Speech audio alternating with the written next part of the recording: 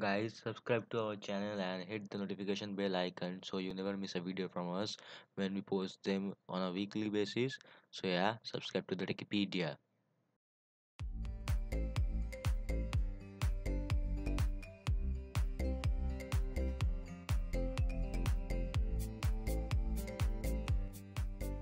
So a few days back, I opened up my computer to get to get some work done, and then I went to my computers soon to realize that the files needed for my work were not present on my PC. Rather, they were on some of my USB drive or something like that. So I went on to my other room, found out in which drive I had the files, and then put the file, put the USB drive in my computer and then soon I realized that I had a shortcut present inside the USB drive.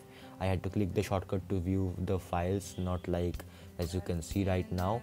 I was not able to do that, and that was not a good sign. And soon uh, later, I saw a pop-up menu like this coming and warning warning me about the corruption of the shortcut. So now I couldn't go to the shortcut and view my files, and I just was totally lost.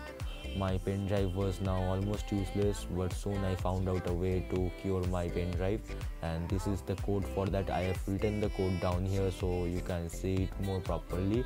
Uh, i will also link it down in the description below so don't worry. And here as you can see the capital d it is this. You have to change a bit according to your computer but as you can see if i go to the my computer's my usb flash drive name here in the bracket is d colon like a capital d forget the colon. So yeah so i have done capital d that's why. If you have any other alphabet just replace that with that thing and open the command prompt with shift plus right click and then enter the command i mean the code and then you will be good to go and your problem will be solved. So this is a kind of a virus or trojan which i got infected with so yeah thanks for watching this video. Hope you like this video. Leave a like down below and i will see you guys in the next one